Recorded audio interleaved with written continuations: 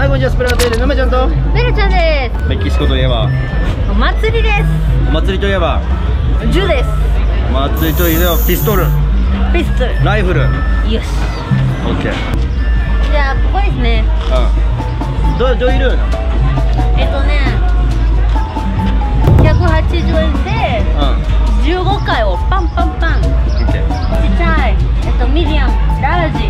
オッケーオッケー。それぞれ違うのなんか倒さないと。あもし足んなかったら、うまた買えばいいの？その15個で15回でうん。5回か10回か15か。あオッケーオッケーオッケー。わかった？5回ならちっちゃいやつで、うん。10だったらまあで、うん。15回だから15個中15ってこと？そうだね。えでいいのこれ。まあちょっとやってみようか。オッケー不安になってきた。不安になってきた。OK じゃあ OK いいよ。おお私来ますね。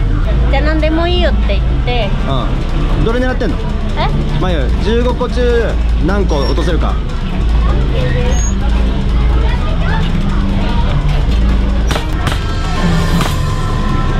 あれ？じゃあ今度さ動いてるやつ。オッケーオッケーオッケ狙う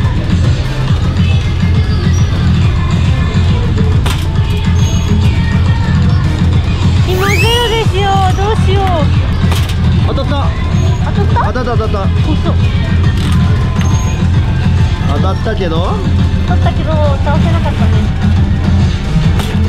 おおおお1個。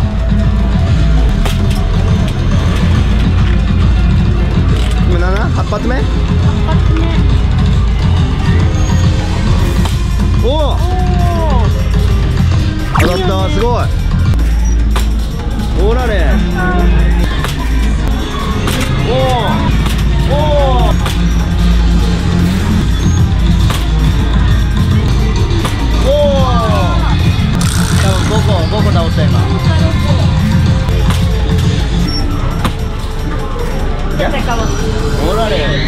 バンドしてありました。3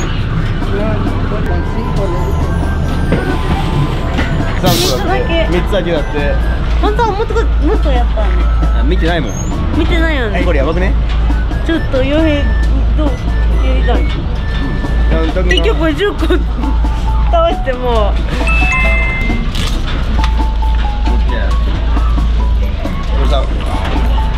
ということで後半戦梅ちゃん